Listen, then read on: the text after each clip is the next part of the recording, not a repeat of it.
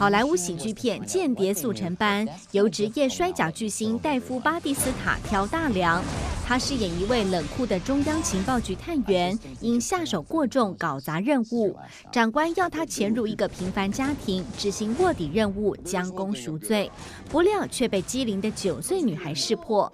探员不得已之下答应了女孩的条件，女孩保密探员卧底的秘密，探员则必须指导他如何成为间谍。两人从一开始的不对盘到日渐相处，成了最佳搭档。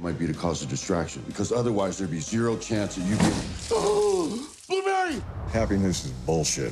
好莱坞剧情片《时光人生》改编自《纽约时报》热门文章，金球奖得主艾德·哈里斯和喜剧鬼才杰森·苏戴西斯内敛演绎一段父子情。片中父亲是一位善用底片的知名摄影师，却不是一位好爸爸。在得知罹患重症后，唯一的心愿是想将底片冲印出来。他与常年不和的儿子踏上一段公路之旅，途中两人再度因过往心结起争执，却也在不断的磨合中化解了心结，弥补过去遗憾。Hand me that thing for a second, will you? What the hell are you doing?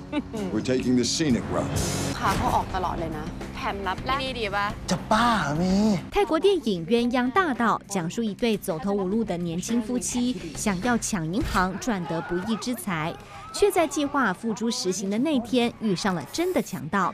这对夫妻从抢匪瞬间变成人质， 就在性命危急之际，他们异想天开，反过来去抢这帮强盗抢来的钱。究竟是性命重要还是钱财重要？这对鸳鸯大盗也不是省油的灯。奥地利悬疑电影《小魔花》由坎城影展影后艾米丽·比查姆和金球奖视帝班维肖主演，讲述单亲妈妈研发了一个会开出鲜红花朵的奇幻植物，还违反规定偷带了一盆回家。但当这朵魔花盛开的时候，原本应该是带给大家快乐的花朵，却暗藏了难以收拾的危险因子。装设综合报道。